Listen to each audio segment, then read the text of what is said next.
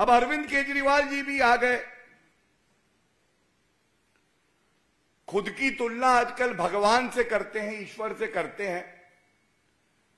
लेकिन आधुनिक युग का भ्रष्टाचारी कंस कोई है? कंस आप समझ गए ना? आधुनिक युग का भ्रष्टाचारी कंस कोई है?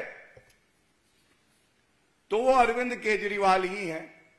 इन्हीं के इशारे पे सारी कठपुतलियाँ इनकी तिजोरी भ्रष्टाचार के रुपए से भर रही है।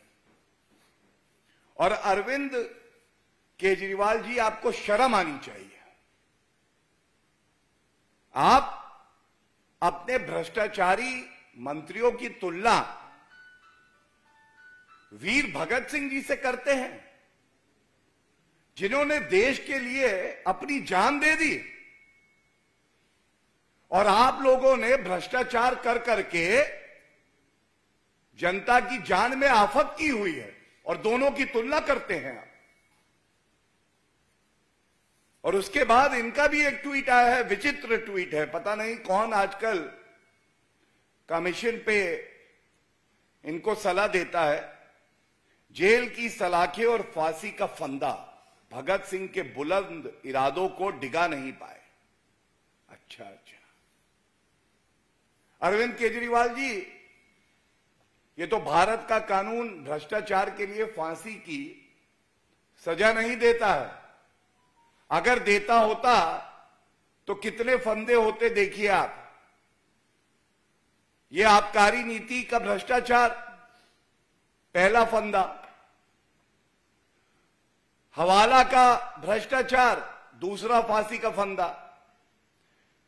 Low floor DTC bus camp एक और फांसी का फंदा होता। वक्फ की ज़मीन भी आप बेच के वहाँ भी घोटाला करते हैं। कट्टर बेईमान अरविंद केजरीवाल, एक और फांसी का फंदा। बच्चों के क्लासरूम बनाने में भी आप भ्रष्टाचार करते हैं। यह भी एक फंदा। टॉयलेट्स को क्लासरूम समझ लेते हैं। यह स्पष्ट कर देता है कि अरविंद केजरीवाल बहुत घबराए और डरे हुए हैं। और डर की ही वजह है,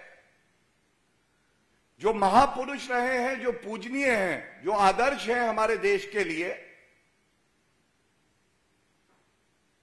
उनका नाम भी इतने हल्के तरीके से इस्तेमाल करते हैं और वो भी कट्टर, बेईमानों के लिए, भ्रष्टाचारियों के लिए।